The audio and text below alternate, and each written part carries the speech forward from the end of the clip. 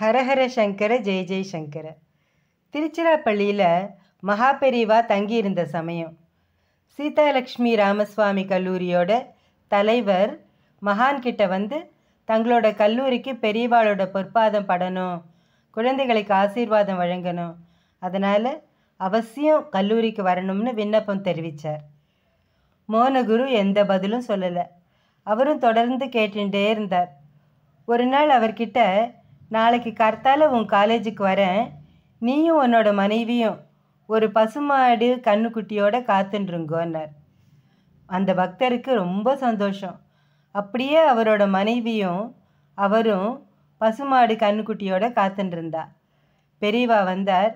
பூர்ணகும்ப வரவேற்பை ஏத்துண்டார் பக்தர்கிட்ட என்னோட பாதம் எங்கெல்லாம் படணும்னு உனக்கு ஆசையோ அங்கெல்லாம் பசுமாடு கண்ணுக்குட்டியை பிடிச்சிட்டு நீ முன்னால் போ. நான் பின்னாடியே வரேன்னார்.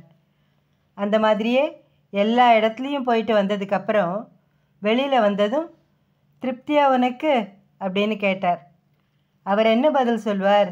அவருக்கு கண்ணு கலங்கி போச்சு.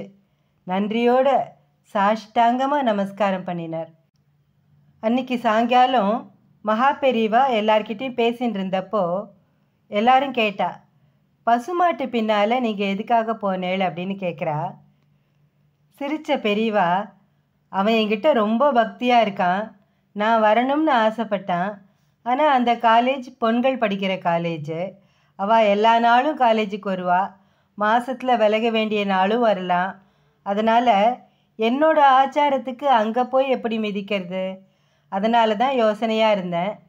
அவனோட ஆசையும் நிறைவேறணும். என்னோட ஆச்சாரமும் கெட்டுடக்கூடாது. அதுக்கு ஒரே வழி எந்த தீட்டாக இருந்தாலும் எந்த தோஷமாக இருந்தாலும் அந்த இடத்துல கோமாதாவோட பாத துளி பட்டுட்டுனா அந்த இடம் பரிசுத்தமாயிடுறதா சாஸ்திரத்தில் இருக்குது அதனால் பசுமாட்டை முன்னால் விட்டு பின்னாலேயே நானும் போயிட்டு வந்தேன்னு சொன்னார்.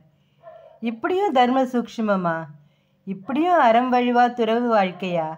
அன்பையும் அறத்தையும் அழகாக இணைக்கிற சாமர்த்தியம் நம்ம காஞ்சி மகானை தவிர வேறு யாருக்கு வரும்? அவரோட பாதாரவிந்தங்களை வணங்கி வழிபடுவோம். ஹரஹர சங்கர ஜெய் ஜெய் சங்கர. காஞ்சி சங்கர காமகோட்டி சங்கர.